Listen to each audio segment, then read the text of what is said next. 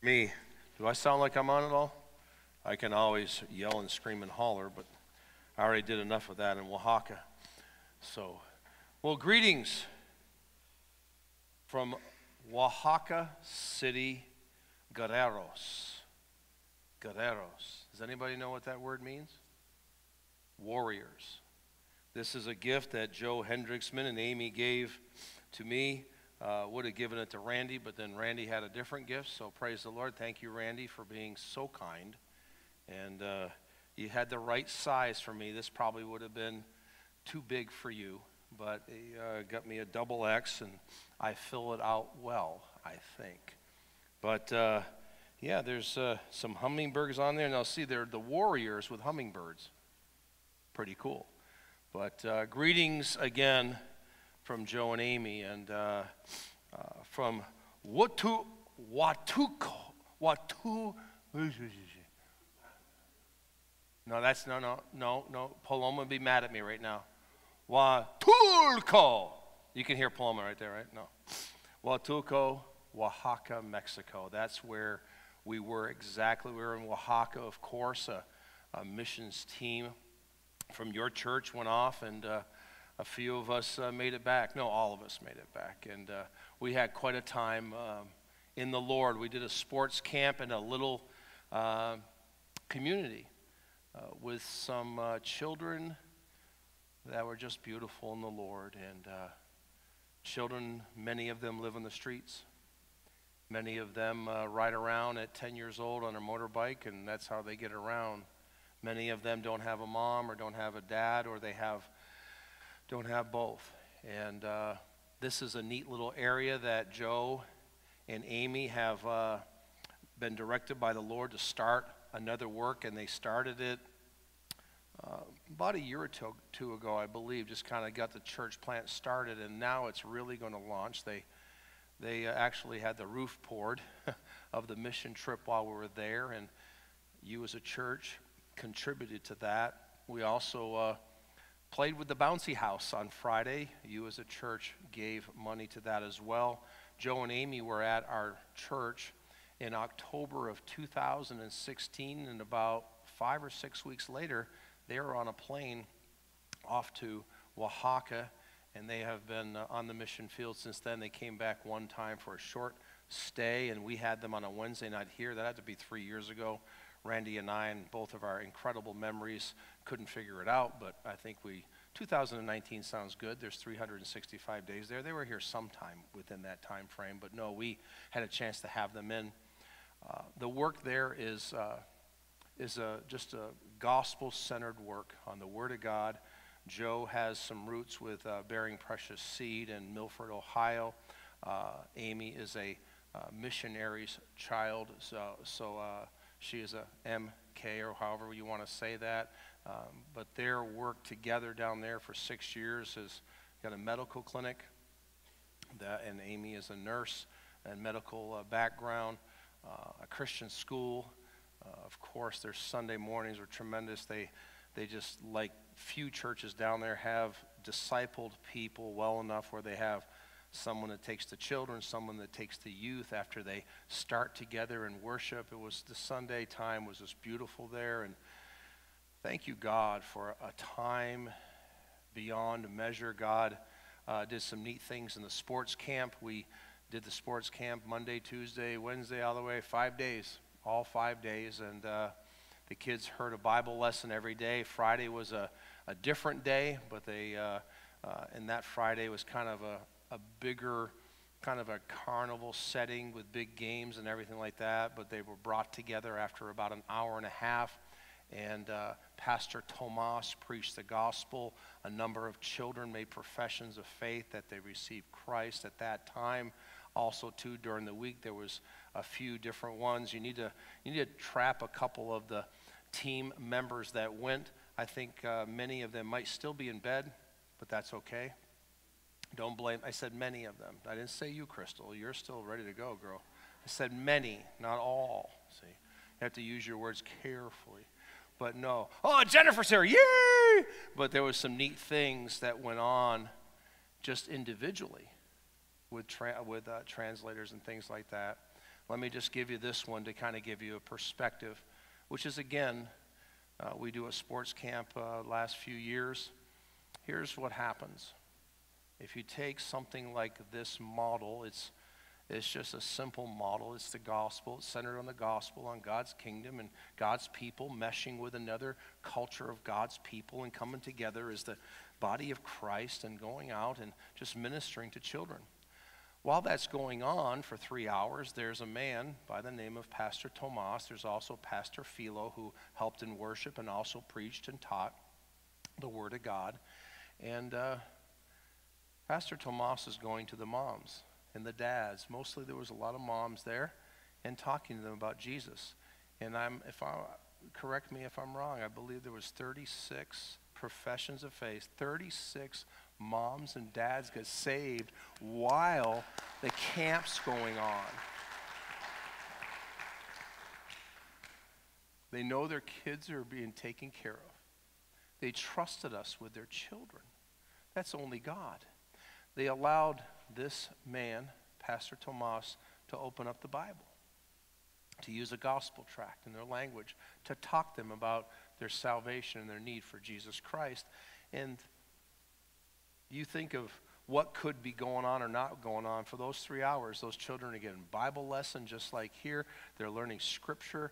1 corinthians chapter number 9 verses number 24 through 27 it was the theme of our first vbsc that we did out here and the children were memorizing that of course in their, their spanish language and the workers that were working there with us they would do that part you can just imagine the kingdom of god work there it's like Jesus Christ sitting them down and saying, Here, go feed them.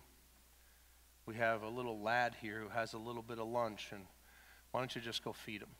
And uh, believe me, the last day we had, you know, 100 ish kids the first day, a little bit less the second, a little bit less the third, and then the fourth day there was probably 100 ish kids, and then the fifth day I think they heard something word of mouth. It wasn't like somebody sent out a group text, you know. I mean, and uh, there was probably, there was between 150 and 200 children there on the last day, and many of them, again, and hearing the gospel, preaching messages. So they were fed each day, which, you know, they, they were so thankful. They had a meal each day. A little something very simple, just like we do here. It wasn't actually like walking tacos or hot dogs like we do, but it was of their culture, just a simple little meal, simple little snack. Uh, I thank God for you, church, for supporting missions, for praying for us, for uh, sending little goodie bags along the way with Bible verses in there and, and all that kind of stuff makes a difference in the Lord. And it really was a fruit bearing time. Again, Joe and Amy are encouraged, and they're, they're doing it. They are uh, accomplishing God's assignment and God's work there in the mission field. And uh, he will be back here to be with his home church in November for their Bible conference. Uh, it's a Grace Baptist and Lee Summit. And uh, I don't know if we'll be able to have him over here. He'll only be here a short time, but uh, maybe we'll try. We'll see how that works out. But very thankful. Uh, again, Huatulco, Oaxaca, Mexico. That's a little bit easier. Thank you, God. Thank you, church. Thank you, First Bible, different people that were praying. And thank you, team. What an incredible time we had in the Lord. Uh, and uh, love never fails. I heard that love never fails. Go in your Bibles to 1 Corinthians. Chapter number one will be a little bit of review here, and we're going to be in chapter number two this morning. How you feeling up there, BT? You doing all right? Oh boy. The bathroom is not that far away in case you need it. You good? Amen. You must have taken four more Imodiums. Oh, boy. Proud of you. That's my roommate up there. I went to bed, it was 72 degrees. I woke up, it was 62. He was trying to teach me how to be a little bit stronger in the Lord. Trust the Lord. So the second night, I made sure that I put a pullover on and some sweatpants. that was making me strong in the Lord. And then I was okay. He kind of bumped the temperature up a little bit, but that's another one of those pieces of going on a mission trip together with men and women in the Lord. It's really, really good. to build a closer relationship with your brothers and sisters in the Lord. And uh, there's something very special about that. Our theme verse for this series, as we get into our Bible time today, is found in verse number eight. It's up on the screen. Charity never faileth. But whether there be prophecies, they shall fail. Whether there be tongues, they shall cease. Whether there be knowledge, it shall fail. Charity did not fail in Oaxaca. God's love does not fail.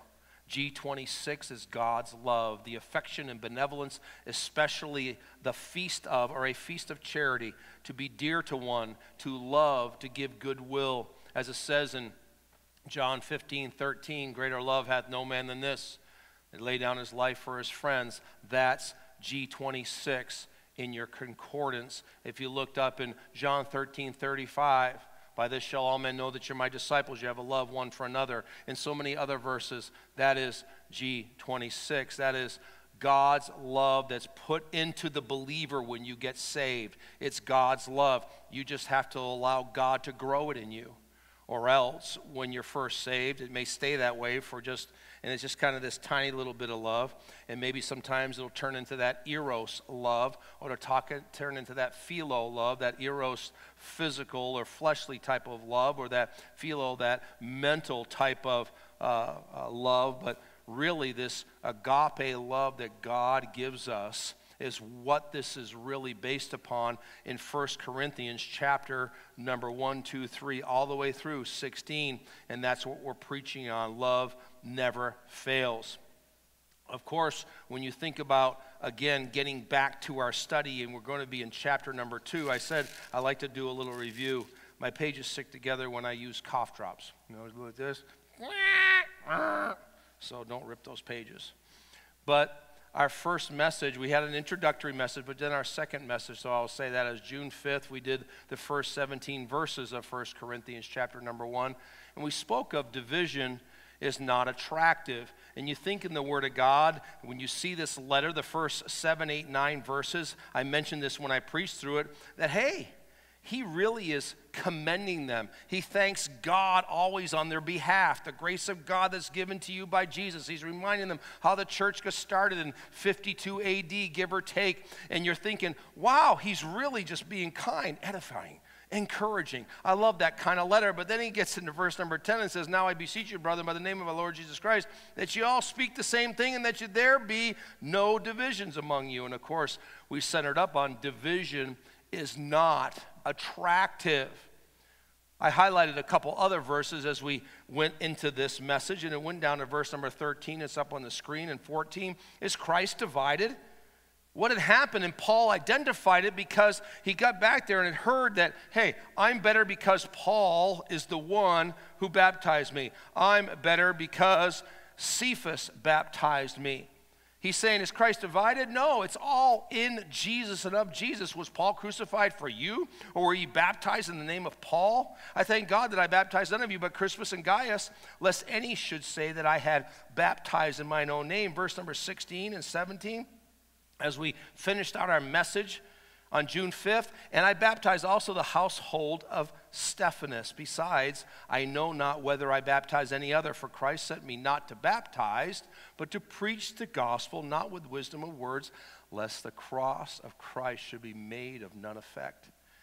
You're going to hear that a little bit more today in chapter number two, because Paul continually mentions and comes back to the gospel and Jesus Christ crucified, the preaching of the cross. So that was our first half of chapter number one after our intro. And then on June 12th, a couple of Sundays ago, we entitled our message Tripped Up by Human Pride.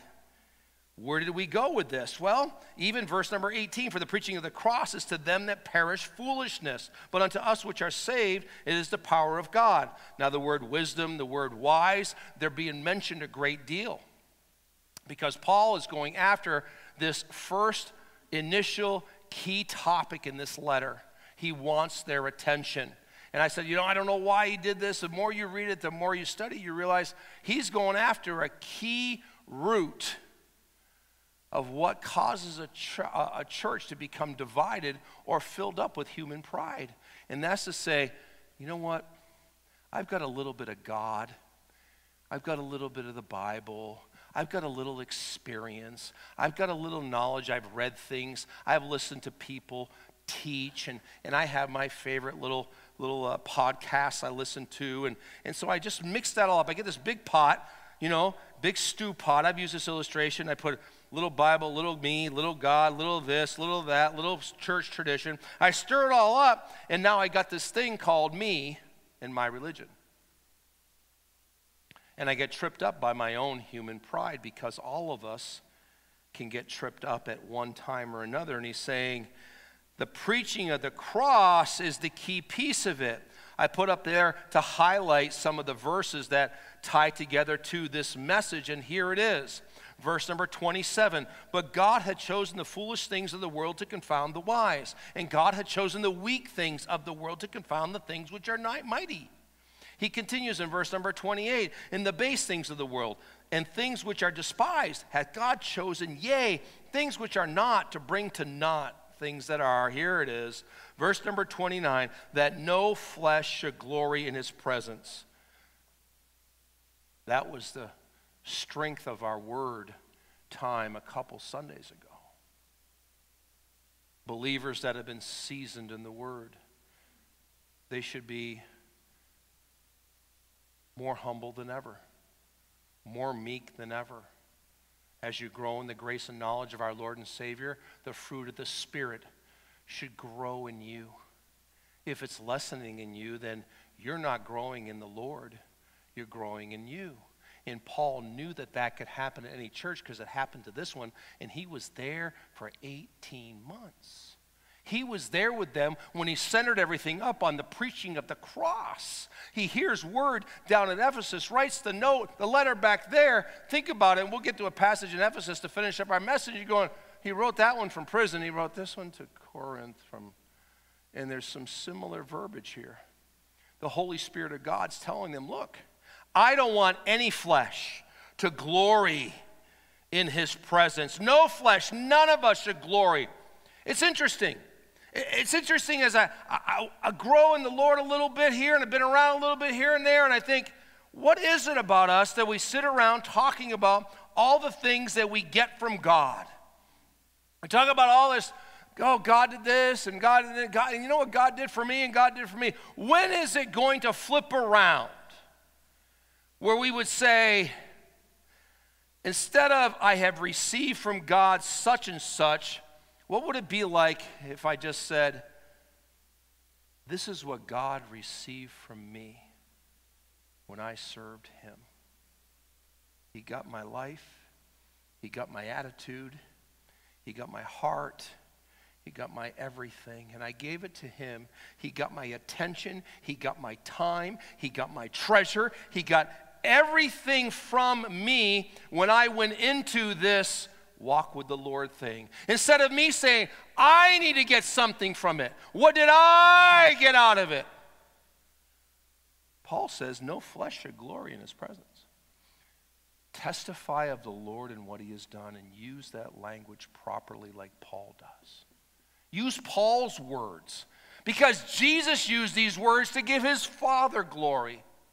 If Jesus gave his Father glory and took no glory for himself, how would it be?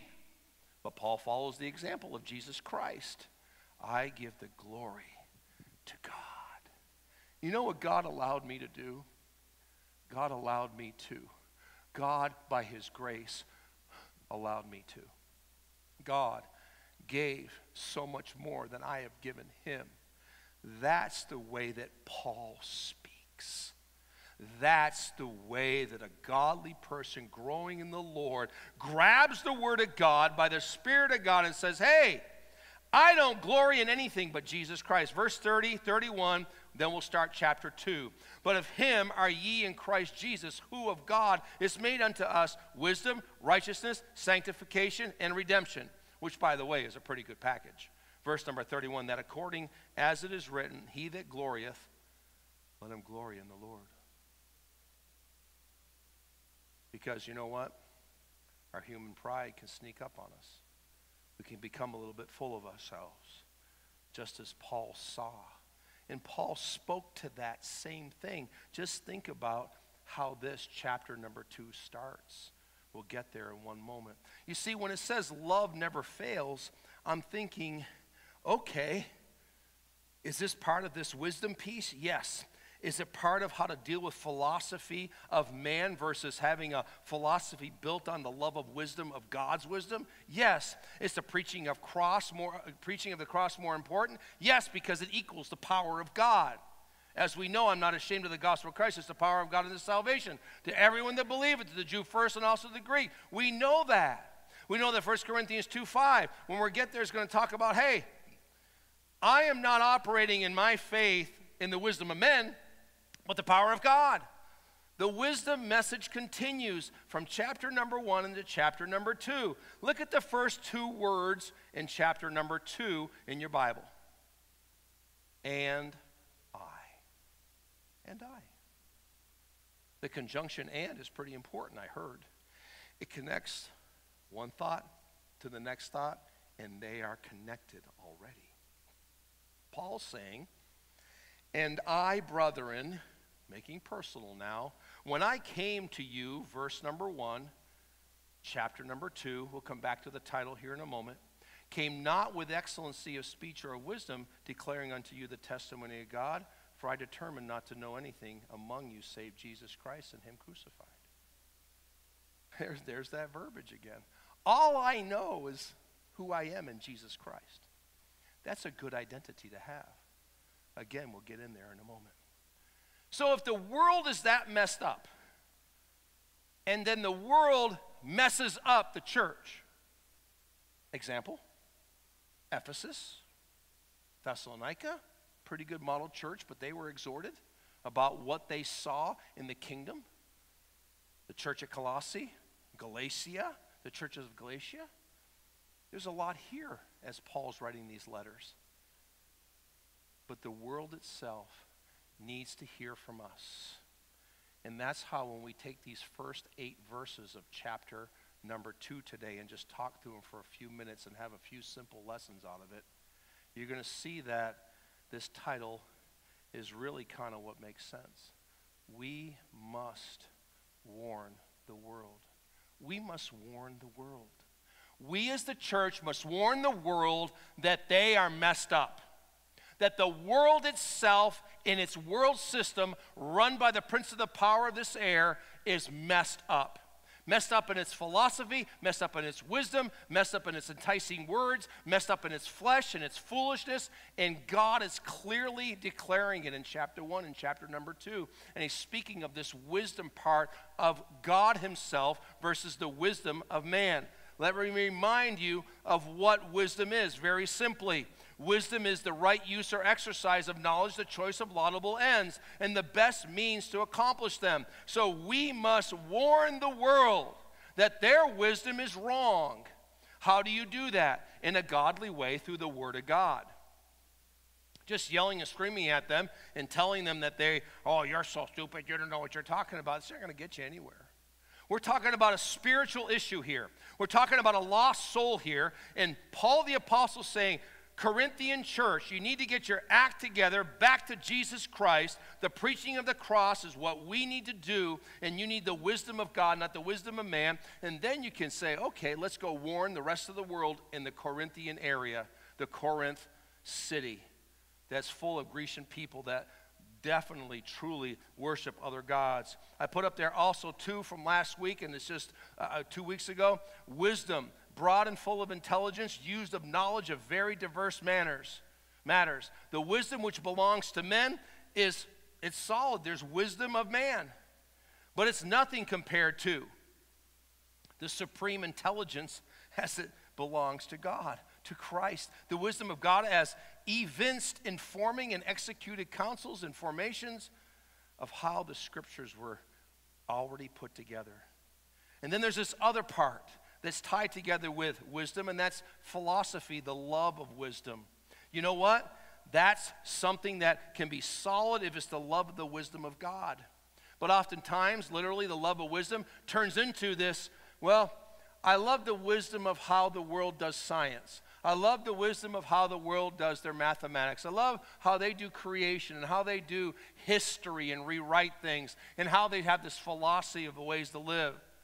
As the Bible teaches us in Colossians 2 8, beware lest any man spoil you through philosophy and vain deceit after the tradition of men, after the rudiments of the world, and not after Christ.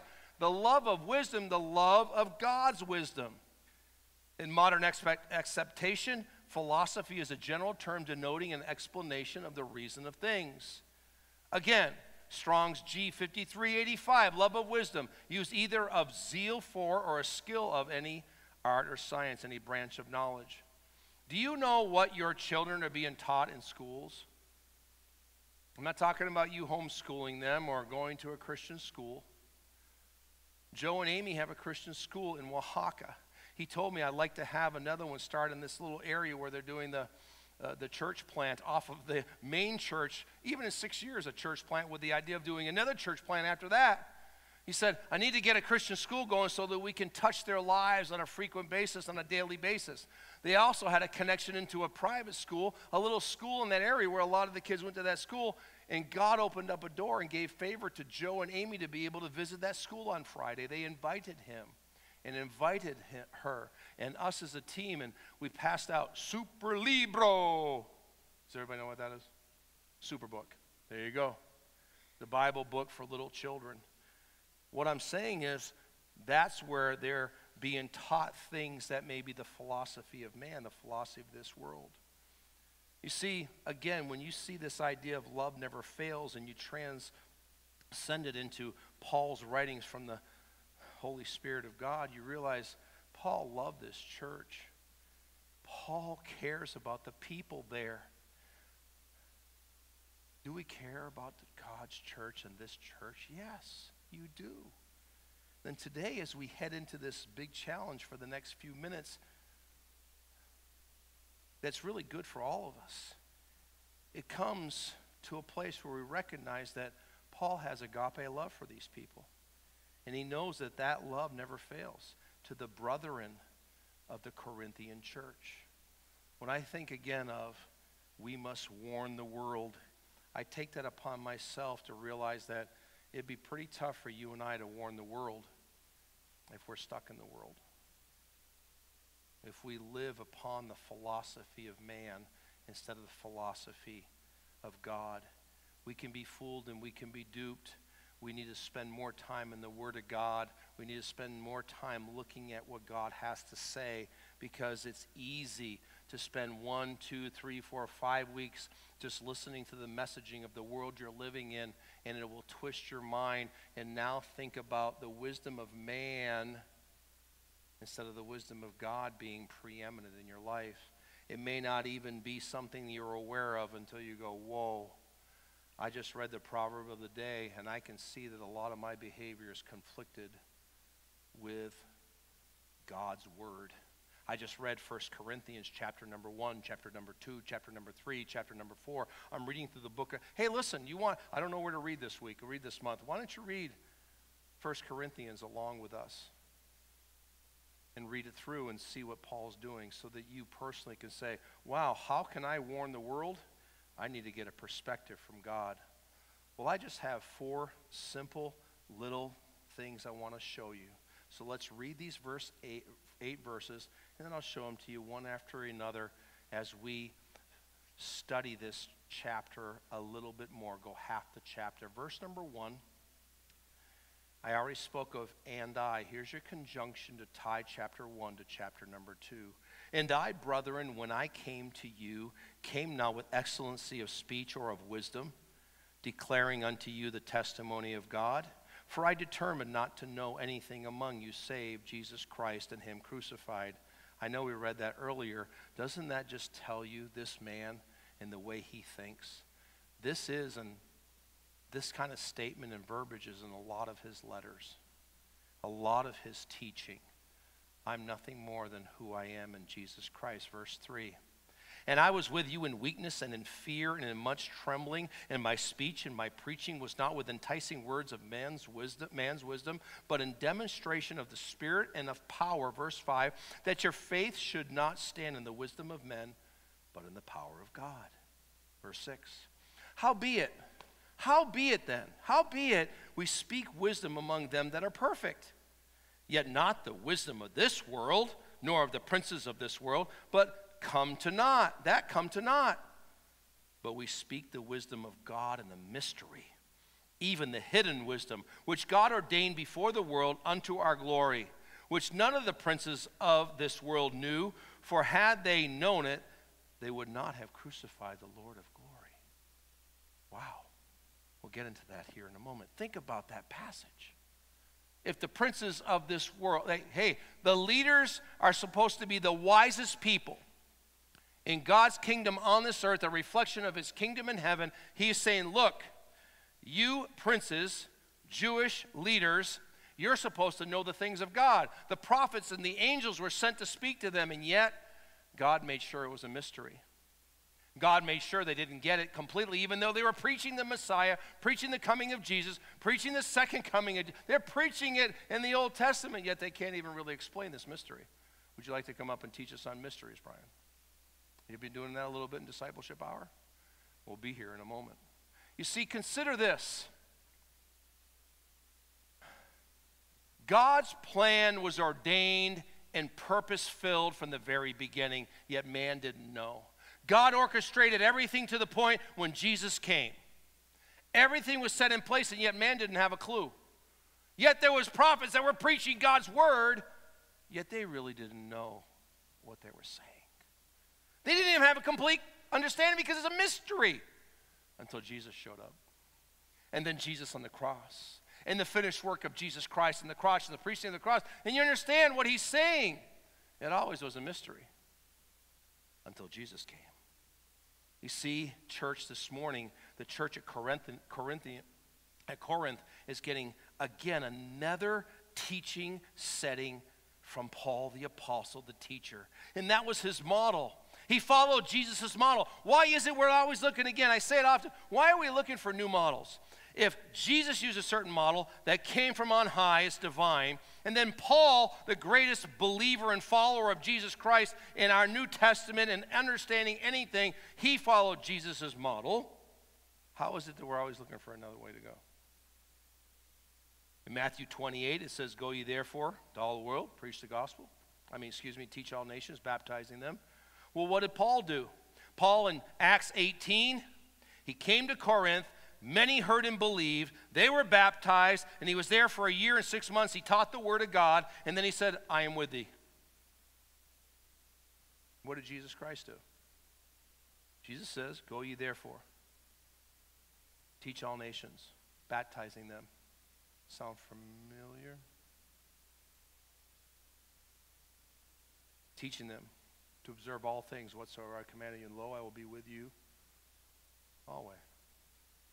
Again, God's love never fails. That's Paul's love. We need to warn the world. So, watch this very simply. Four tiny little lessons in the midst of our scripture that help us really grasp how to warn the whole world but we get the warning first. Church, we get the warning first so then we can warn the world. The first one is identity fraud. Where do we get that from? The world does not testify of God's testimony. Look here. He says in verse number one, declaring unto you the testimony of God. I determined not to know anything among you save Jesus Christ and Him crucified. It's the testimony of God and Him. He told Timothy, Remember the testimony of the Lord in you. The world does not testify, testify of God's testimony. Follow this just for a second. Before somebody does fraudulent activity to your identity, they have to steal it. Anybody had their identity stolen before? It's more common. What happens then? Fraudulent activity. That person's that's do, doing it, they have another one and another one and another identity, and then they just keep on going. They don't even know who they are. They're just fraudulent after they steal them. This is the world you live in. People don't even know who they are. They have identity fraud in their lives. That's the world that Paul is speaking to as he's trying to get this church in Corinth to go, You get saved out of that world. You have an identity in Jesus Christ. Him crucified's all your identity. How about if you went up to one of your brothers and sisters in the Lord? Remember, your identity is in Jesus Christ. You're born again, yes. I know. I remember when I came, I came to the saving knowledge. My life was changed. I knew I was forgiven. I, I know it. I, I, maybe I'm not that way. I'm not that where that I should be right now. And say, how about if you just said, you know what? Your identity's in Jesus Christ. You don't have to have identity fraud and be confused like the world because the world will change their identity every week, every month, every year according to what fits them. Paul the Apostle in Second Corinthians supports this idea of having your testimony in the Lord. For our rejoicing, for excuse me, Second Corinthians chapter number 1, it's up on the screen. For our rejoicing is this, the testimony of our conscience, that in simplicity and godly sincerity, not with fleshly wisdom, but by the grace of God, we have had our conversation in the world and more abundantly to you word. Because of the grace of God, our conversation or our way of behavior is in Him. Their identity is in Him. He's speaking that in the second letter to the church at Corinth. Paul says this is how to identify. Identify with God. The testimony of God through the Lord Jesus Christ is who you are.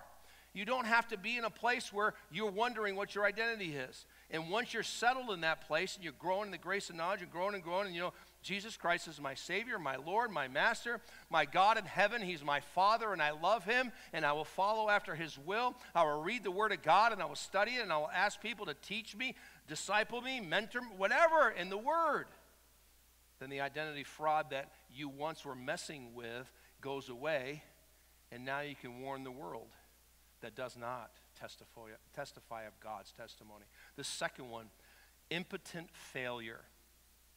That means a powerless life of failure. The world does not know God's power at all. They think they do. They manufacture it. I'm tough. I can handle it. I'm working on it. How many lost people are working on it? Do you have a relationship with God through the Lord Jesus Christ? What do you think about Jesus? What is your thought about God? Do you recognize that He exists? Well, sure. I'm glad that He made me, He gave me this life. Do you realize that you do not breathe one single breath without His power allowing you to do it? It says in chapter number 2, verse number 3, and I was with you in weakness and in fear and much trembling. That doesn't mean that Paul's, I can't breathe. He's saying, I have no strength unless it's in Him. I come and I preach. I was with you in weakness and fear and much trembling. That's when I came and preached. Verse 4 And my speech and my preaching was not with enticing words of man's wisdom, but in demonstration of the life changing power of the Word of God from the gospel, the Spirit, and the power. The world doesn't have a clue about that power. Now, here's the funny part about enticing words we're always trying to find the exact little word that has to work it's one thing to answer people, and I know some of you are learned in so many areas to be able to answer people's questions, but you guys know, you ladies know, it's going to be the power of the Holy Spirit and the Word of God that's going to save a soul. That's the only one that's going to do it. Well, if I just say it a certain way, just ask Jesus into your heart Okay? We've got to be careful of these enticing words. Paul didn't use enticing words. You know what the word enticing means? Persuasive words. Let me have you believe something that I can convert you. You can't convert anybody to Jesus Christ. You can't save any soul. You don't have that kind of power. But how is it that somehow we get twisted up into that? It says in 2 Corinthians chapter number 10, Now I, Paul, myself beseech you by the meekness and gentleness of Christ. So he's beseeching in his second letter to the church at Corinth by the meekness and gentleness of Christ, who in presence am base among you, but being absent and bold toward you. But I beseech you that I may not be bold when I am present with that confidence wherewith I think to be bold against some. I don't want to be in the way, which think of us as if we walked according to the flesh. Oh, you know everything, don't you, Paul? He had to war against that constantly. It was a message, messenger from Satan that showed up in his life. You think about how God wants us to operate to warn the world. It is not with your enticing words, because the world does not know God's power, but they have to experience the power of God through the Word of God that comes out of your lips by the Spirit. You and I can't just go and rehearse a bunch of things and say, oh, I just need to say the exact thing and everything will work. Charles Spurgeon said this The power that is in the gospel does not lie in the eloquence of the preacher. Otherwise, men would be the converters of souls. Nor does it lie in the preacher's learning. Otherwise, it would consist in the wisdom of men. We might preach until our tongue rotted, till we exhaust our lungs and die, but never a soul would be converted unless the Holy Spirit be with the Word of God to give it the power to convert the soul. That's it. That's it. Romans 5:10 says, "For if, when we were enemies, we were reconciled to God by the death of His Son, much more being reconciled, we shall be saved by His life." It's Him. Powerful, powerful. Number three, little lesson here: incomplete faith. Besides the identity fraud and the impotent failure there's incomplete faith that the world has to be warned about. The world does not trust God's message. They do not trust God's message. The world doesn't want to trust God's message. The world is totally against God's message. That's why they keep on coming up with different ones. We need to warn them. This incomplete faith, verse number five, I mentioned it earlier, that your faith should not stand in the wisdom of men, but in the power of God. Paul's aim simply was to tell you and I hey, your faith is in the power of God. The world says it's in the power of me or an ulterior message. I can do enough works to get myself to fit into God's good grace if I can just, and if I could just, and if I could just, I, I, I, I. The world is all about I, I, I. And we have to be careful that in our faith walk with the Lord, that it is, of course, complete in Jesus. You are, you are complete and one day perfected into Him. But if you keep away from the Word of God long enough, then your faith will be unsettled. Your faith will be ungrounded. And then you can be fooled by philosophy, vain deceit. You and I have to understand what Paul's conveying to the church and then be able to take this challenge and say, okay, I can go warn the world. I need to warn the world that they need to trust God's message. They need to grab a hold of God's power. And it's all centered on Jesus Christ. They need a testimony of God through Jesus Christ. It says in 2 Corinthians chapter number 13, verses 4 and 5 For though he was crucified through weakness, yet he liveth by the power of God. For we also are weak in him, but we shall live with him by the power of God toward you. Verse number 5 Examine yourselves, you and I, examine yourselves, whether we be in the faith. Prove your own selves. Know ye not your own selves how that Jesus Christ is in you, except ye be reprobates? That's not on me. I've got to deal with me. You need to deal with you. When Paul asks this question of the church, he's asking it in the Spirit, and so the Spirit of God's asking us. For though he was crucified through weakness, he liveth by the power of God. For we also are weak in him, but we shall live with him by the power of God toward you as believers. That's how that agape love comes out. That's how that love never fails. So examine yourself. We need to examine ourselves, whether we be in the faith. Because the world has. They're in a place where they just will not, will not trust the message of God and his power.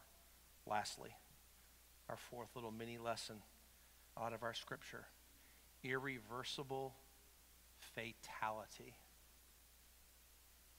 If someone dies without Jesus Christ, we know that they do not bow their knee and bow their heart to God and call on the name of the Lord to save them.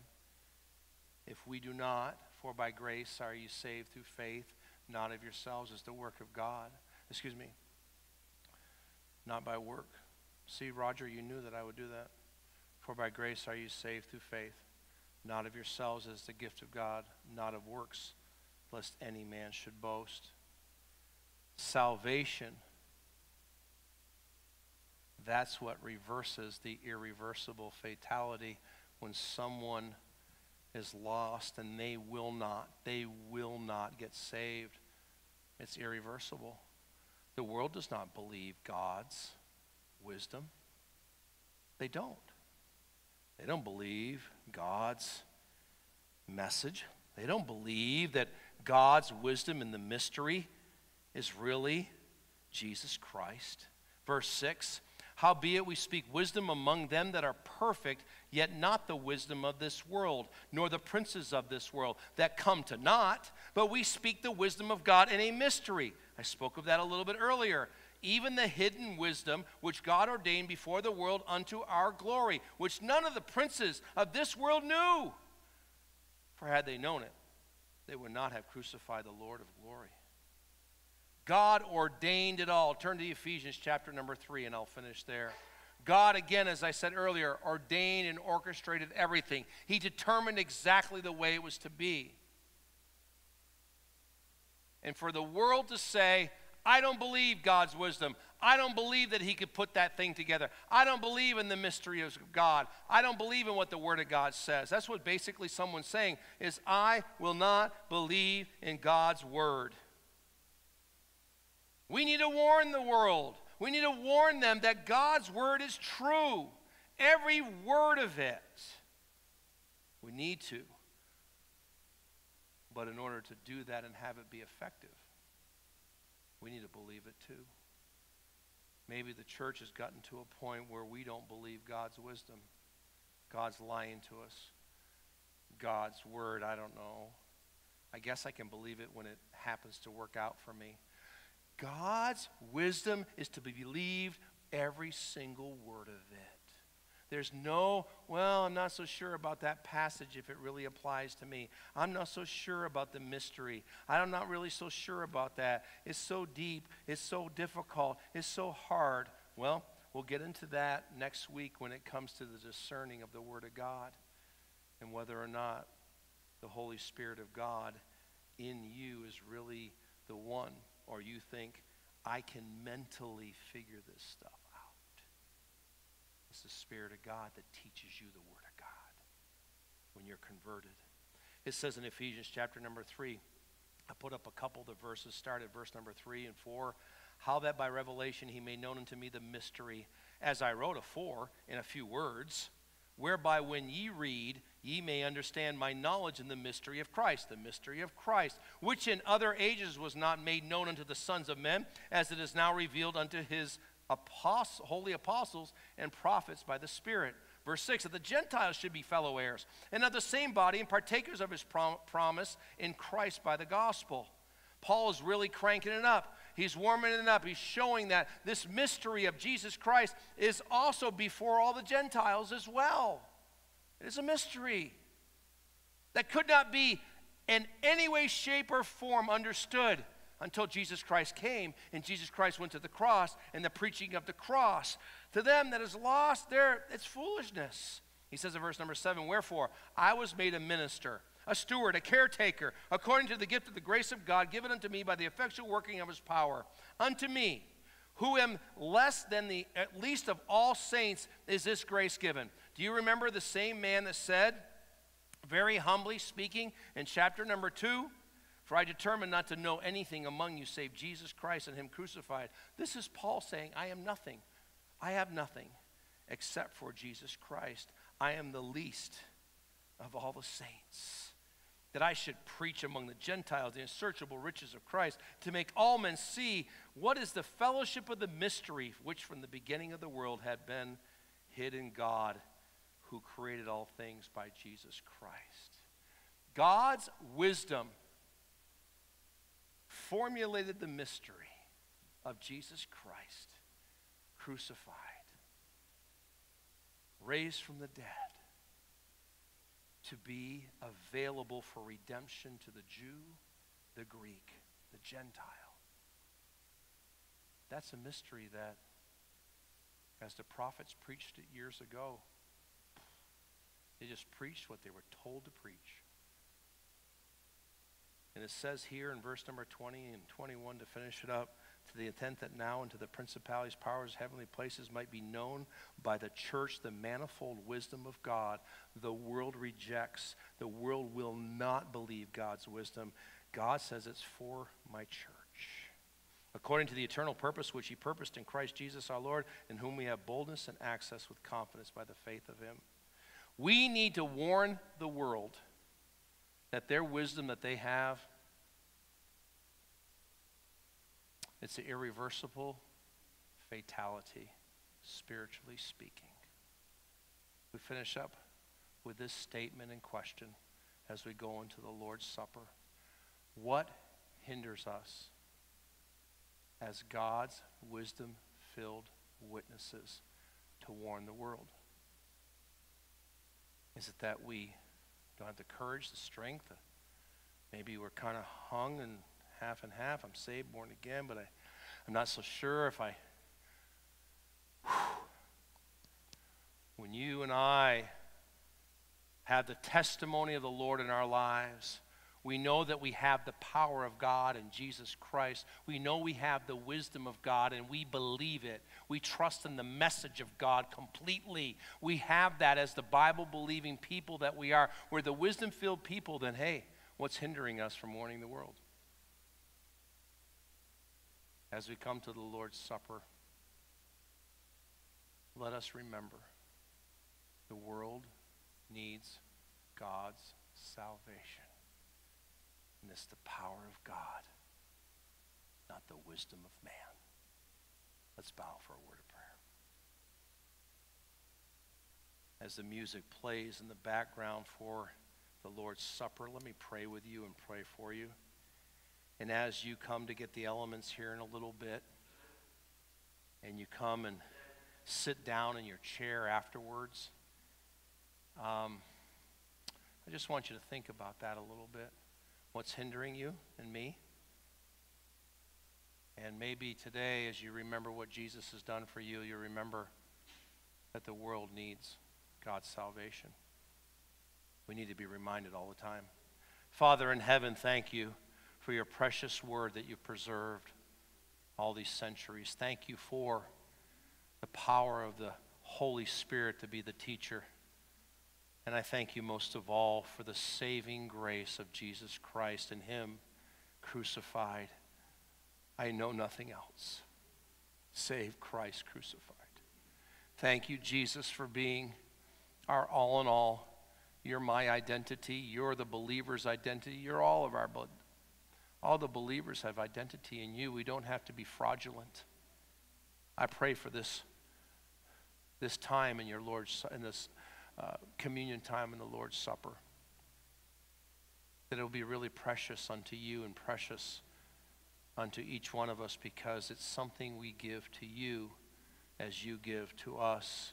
We give you the glory and the honor. We search our hearts. We realize that we need to remember that this world needs to be warned before an irreversible fatality happens. Lord, bless our time again in our Lord's Supper. In Jesus' name, amen.